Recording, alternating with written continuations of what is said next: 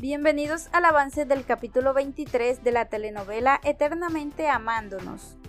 La secretaria le informa a ellos que no podrán ser atendidos por la doctora Erika ya que Lucas tuvo un accidente.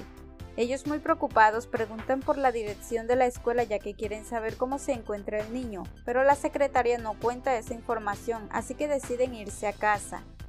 Imelda lima sus uñas y Fernando termina de arreglarse, pero ella últimamente ha tenido algunos cambios y hasta le molesta el olor del perfume del que usa.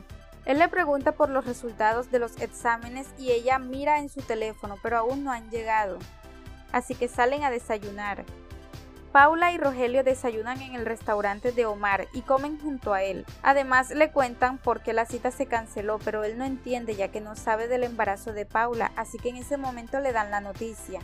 Luego Rogelio llama para tener noticias del lugar y la secretaria le informa que no fue nada grave y que está fuera de peligro. Todos están en el comedor e Imelda revisa su teléfono. En ese momento llegan los resultados de los exámenes médicos y se entera que está embarazada. Le da la noticia a todos y se ponen muy contentos. Cada uno se levanta para darle sus felicitaciones. Rogelio y Paula llegan nuevamente al consultorio y reciben un mensaje con la noticia del embarazo de Imelda. Se ponen contentos y se dan un abrazo.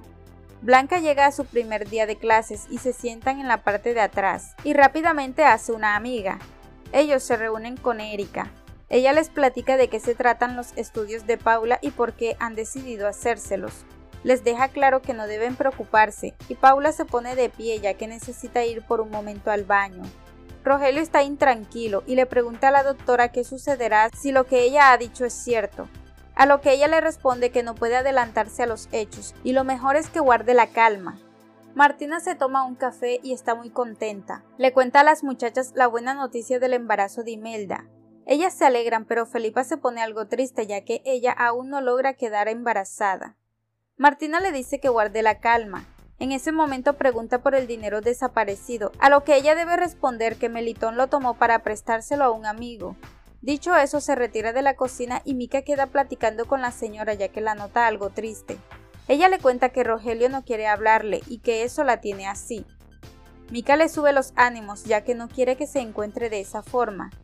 Ellos continúan platicando y en ese momento entra Paula con los ánimos diferentes y más motivada ya que quiere que todo salga bien. La doctora le da algunas recomendaciones y le indica qué actividades no debe hacer. Dicho eso, ellos se retiran. Ellos se encuentran en casa de Beatriz dándoles la noticia de que serán abuelos ya que Imelda está embarazada. Paula llega de su cita y se presenta ante Martina. Ella emocionada le enseña unos mamelucos que ha comprado para el bebé y Paula le agradece su detalle. Todos salen del salón y solo queda Blanca con su nueva amiga. Ella le cuenta su historia y la chica estira su mano para tomarla de ella y ofrecerle todo su apoyo.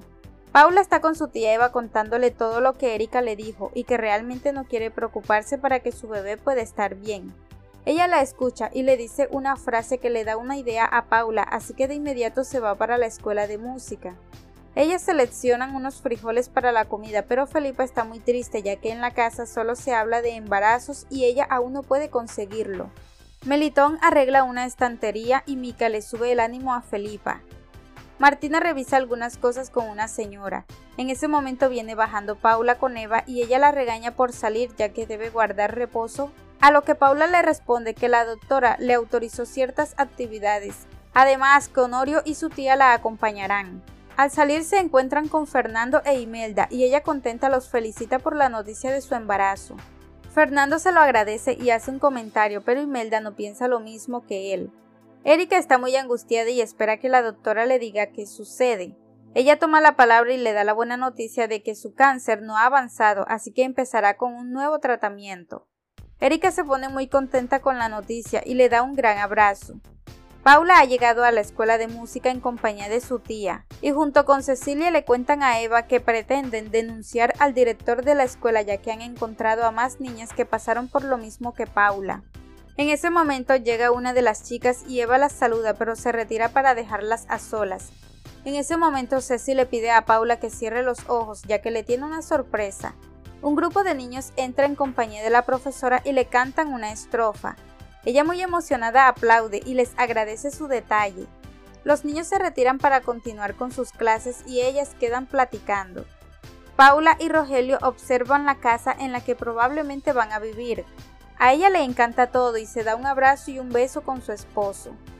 Fernando recibe una llamada de Ignacio, la cual atiende de inmediato. Él le comenta que necesita reunirse ya que ha llegado un nuevo cargamento, pero él le responde que tiene un compromiso así que no pueden verse. Y le recuerda que nadie debe enterarse de su negocio, a lo que Imelda alcanza a escuchar y le pregunta de qué se trata, pero él no le responde a su pregunta. Todos están reunidos en el comedor. Martina llega y se ponen de pie para recibirla. Cuando ella se sienta, Rogelio anuncia que se mudará con su esposa, algo que a Martina la deja sin palabras, pero no falta la discusión ya que Imelda se opone con Fernando y comienzan a señalar a Paula. Luego del escándalo se retiran de la mesa. Rogelio termina de dar su comunicado y se levanta de la mesa con Paula. Ellos están en su habitación y Rogelio juega con una pelota. Paula peina su cabello y le comenta a él que le parece muy extraño que Martina no haya hecho nada para detenerlos. Él le responde que es lo mejor. Ella le quita la pelota con la que juega ya que irán a dormir.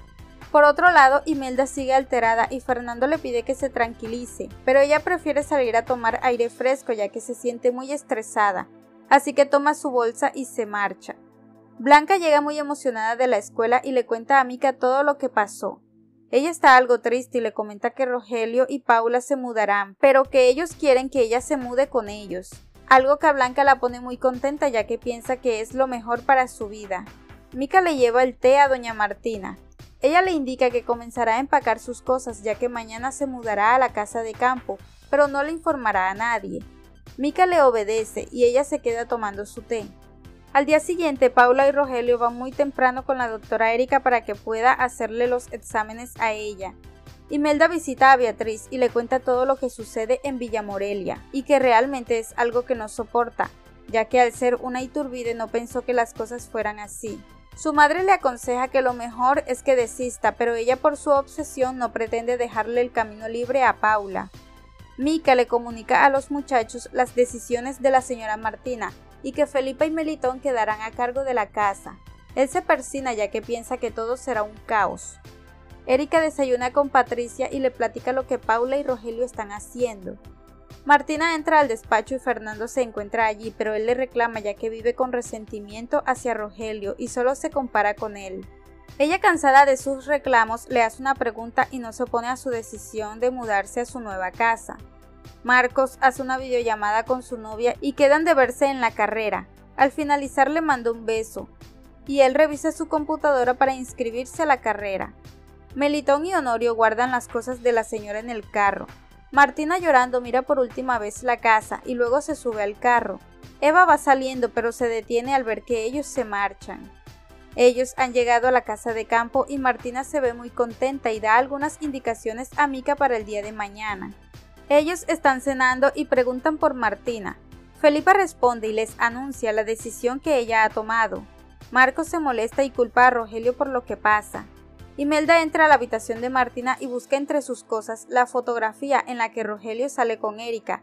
Al encontrarla, la guarda y sale de la habitación. Paula está con su tía Eva y toca la guitarra. Platica un poco, pero ella se va a dormir. En ese momento entra Marco para pedirle a Paula que no se vaya, ya que Rogelio ha sido la figura paterna que ellos han tenido, o de lo contrario que no cuente más con él. Paula trata de detenerlo para explicarle, pero él no escucha y se va. Felipa limpia la casa y Fernando deja a Imelda ya que quiere ir a atender algunos asuntos. Imelda llama a Paula para decirle que se reúnan ya que debe comentarle algo muy importante.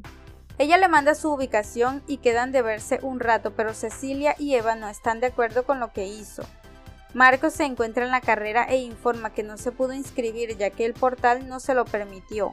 El hombre le responde que en esta ocasión no podrá participar y él se molesta armando un espectáculo. Luego se sube a su moto y deja botada a su novia. Él se va manejando a muy alta velocidad y tiene un accidente. Hasta aquí este avance, si te ha gustado déjanos un like y una suscripción.